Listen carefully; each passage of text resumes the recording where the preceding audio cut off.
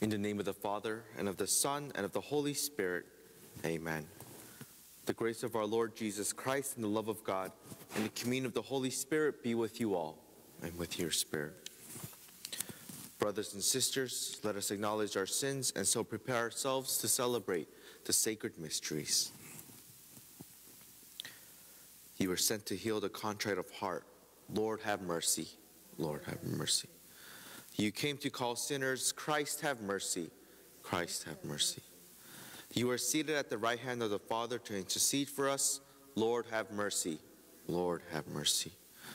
May Almighty God have mercy on us, forgive us our sins, and bring us to everlasting life. Amen. Let us pray.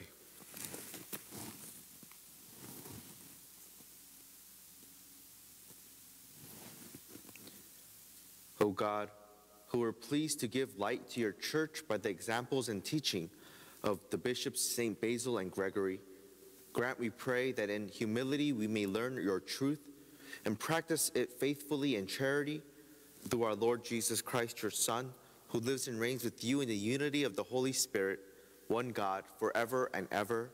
Amen.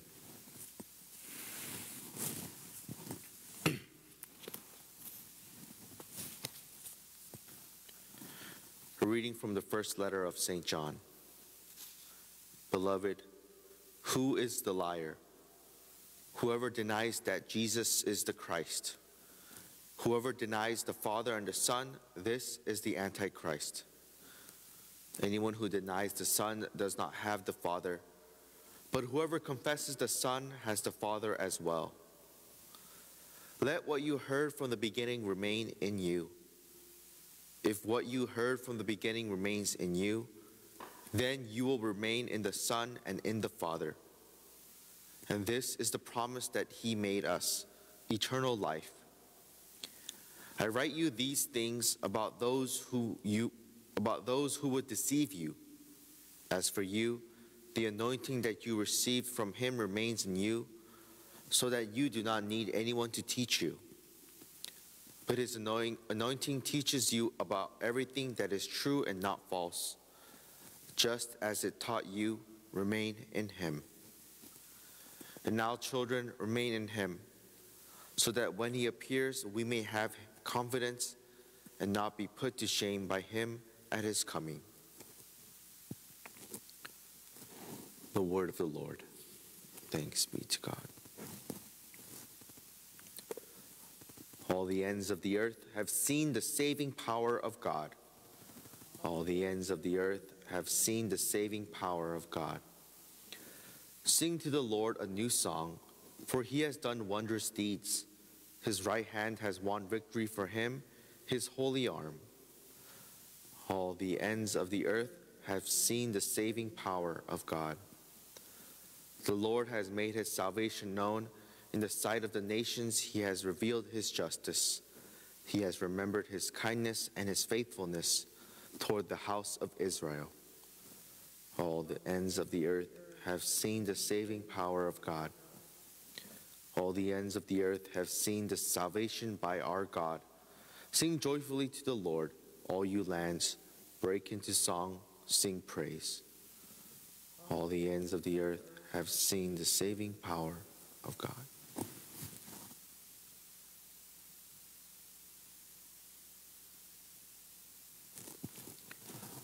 Hallelujah, hallelujah, hallelujah.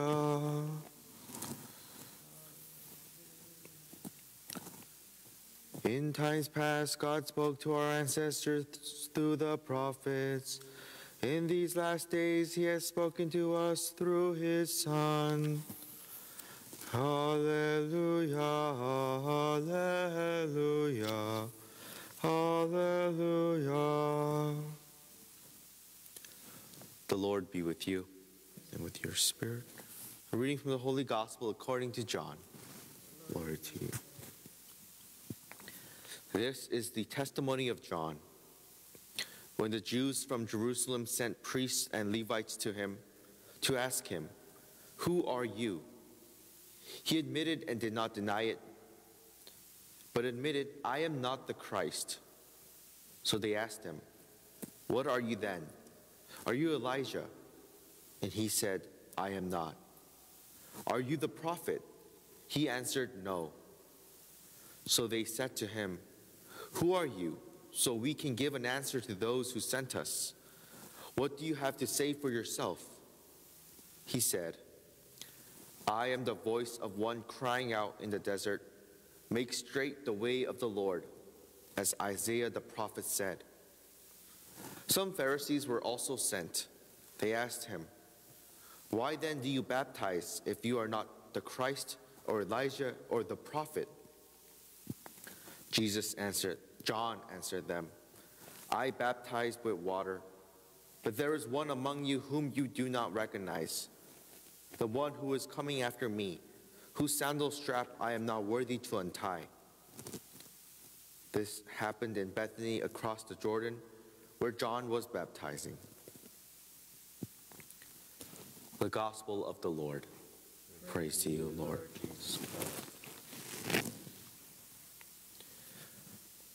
In our gospel today, we hear of people who are, who are questioning John the Baptist. And they ask him who he was and if he was the Christ. And he says, No, I am not. But he tells the people that were asking him that he, is, uh, he says, I am the voice of the one crying out in the desert, make straight the way of the Lord. And he's quoting Isaiah the prophet from the Old Testament of how there will be one that that will prepare the way for Jesus Christ, which we know as John the Baptist. And so John says, Make straight the way of the Lord. He's saying that's what he is doing. And we ourselves can also follow in this example. How are we in our lives making straight the way of the Lord, setting the way of the Lord to come and do his, his works?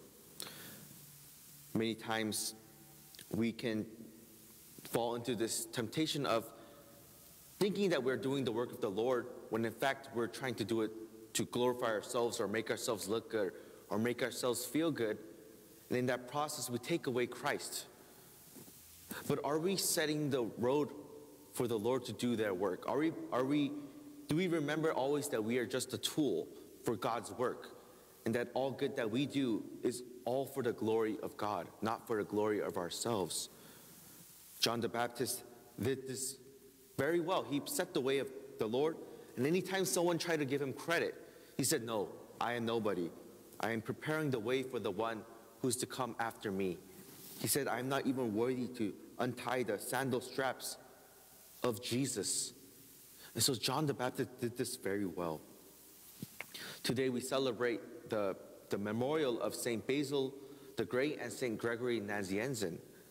And these are both bishops and doctors of the church.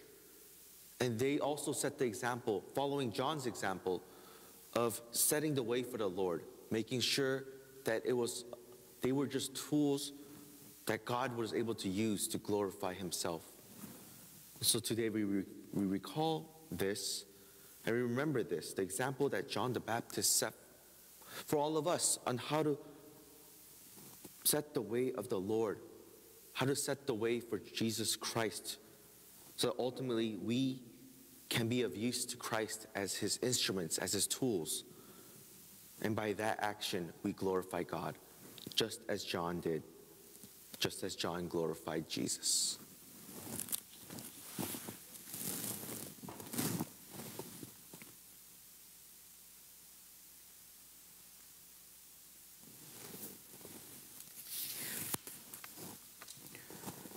Today's Mass is being offered for the repose of the souls of Father Adrian San Juan, Saint Elizabeth Ferrer, and Norman Wade Lafont.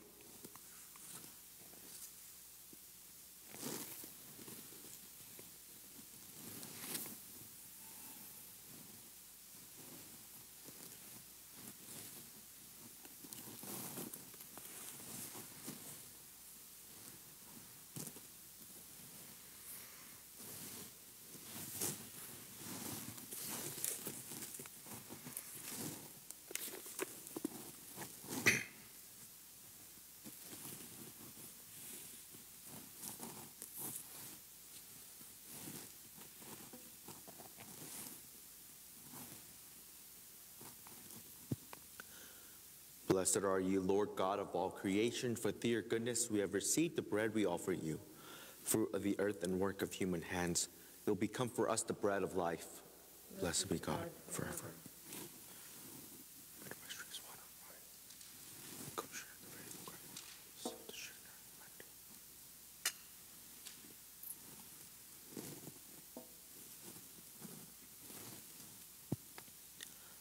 Blessed are you, Lord God of all creation. For through your goodness we have received the wine we offer you, fruit of the vine and work of human hands. It will become our spiritual drink. Blessed be God forever.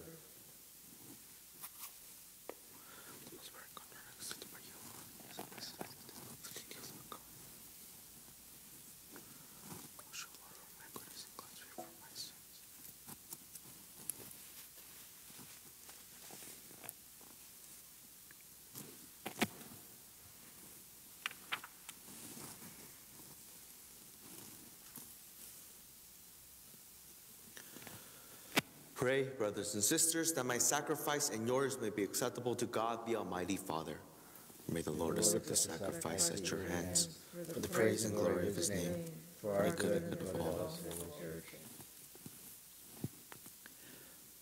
Accept this sacrifice from your people, we pray, O Lord, and make what is offered for your glory in honor of Saints Basil and Gregory a means to our eternal salvation through Christ our Lord. Amen. The Lord be with you and with your spirit. Lift up your hearts. We lift them up to the Lord. Let us give thanks to the Lord our God. It is right and just. It is truly right and just, our duty and our salvation, always and everywhere to give you thanks. Lord, Holy Father, Almighty and eternal God, through Christ our Lord, for as on the festival of Saints Basil and Gregory, you bid your church rejoice, so too you strengthen her by the example of, his, of their holy life. Teach her by their words of preaching, and keep her safe in answer to their prayers. And so, with the company of angels and saints, we sing the hymn of your praise, as without end we acclaim. Holy, holy, holy, holy, Lord, God of hosts. Heaven and earth are full of your glory. Hosanna in the highest. Blessed is he who comes in the name of the Lord. Hosanna in the highest. You are indeed holy, O Lord, and all you have created rightly gives you praise. For through your Son, our Lord Jesus Christ, by the power and working of the Holy Spirit, you give life to all things and make them holy, and you never cease to gather a people to yourself, so that from the rising of the sun to its setting, a pure sacrifice may be offered to your name. Therefore, O Lord, we humbly implore you, by the same Spirit, graciously make holy these gifts we have brought to you for consecration, that they may become the body and blood of your Son, our Lord Jesus Christ, at whose command we celebrate these mysteries. For on the night he was betrayed, he himself took bread, and giving thanks, he said the blessing, broke the bread, and gave it to his disciples, saying, Take this, all of you, and eat of it, for this is my body, which will be given up for you.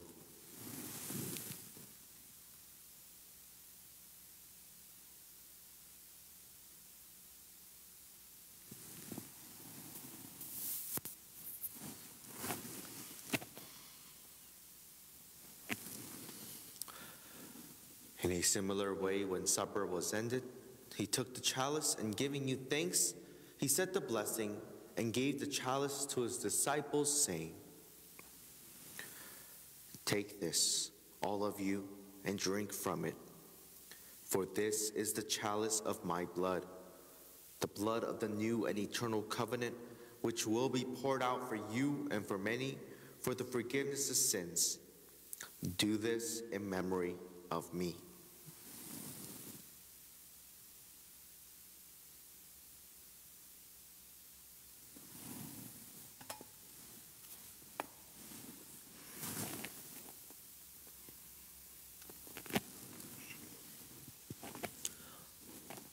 Mystery of faith.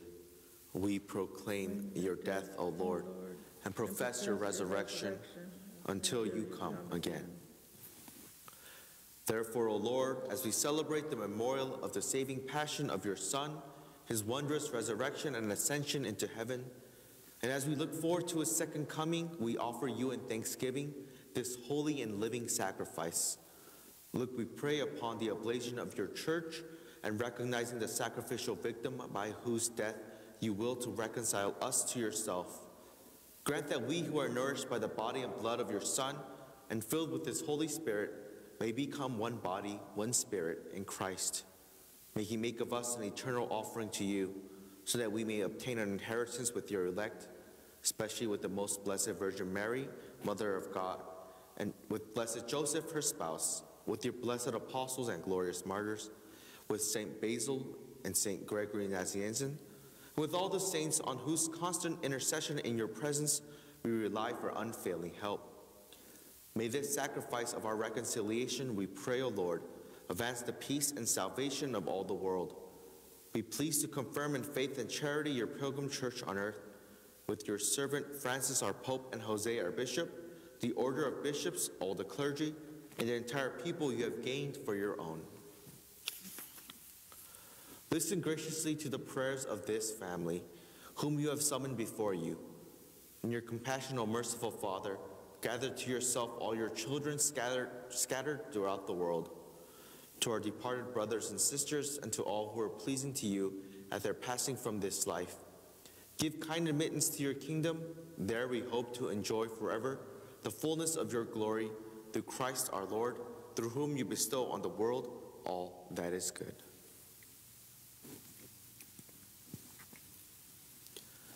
Through him and with him and in him O God, Almighty Father, in the unity of the Holy Spirit, all glory and honor is yours forever and ever.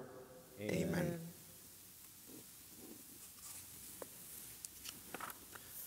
The Savior's command, informed by divine teaching, we dare to say, Our Father, who art in heaven, hallowed be thy name.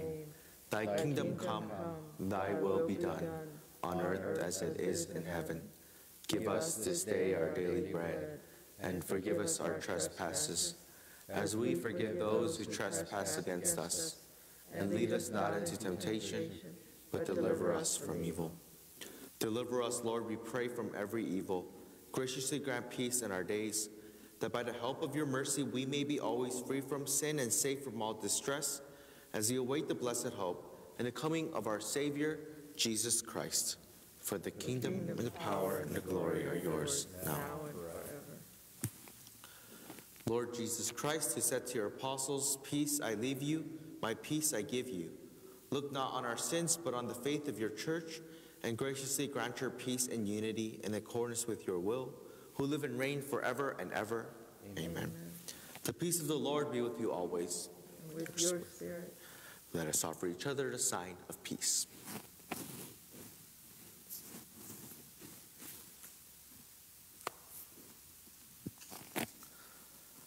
Lamb of God, you take away the sins of the world. Have mercy on us. Lamb of God, you take away the sins of the world. Have mercy on us. Lamb of God, you take away the sins of the world. Grant us peace.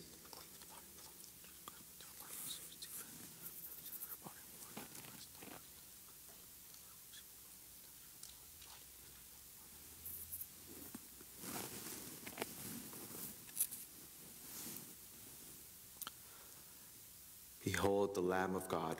Behold him who takes away the sins of the world. Blessed are those called to the supper of the Lamb. Lord, Lord I am not worthy that he should enter under my roof. Only say the word, my soul shall be healed.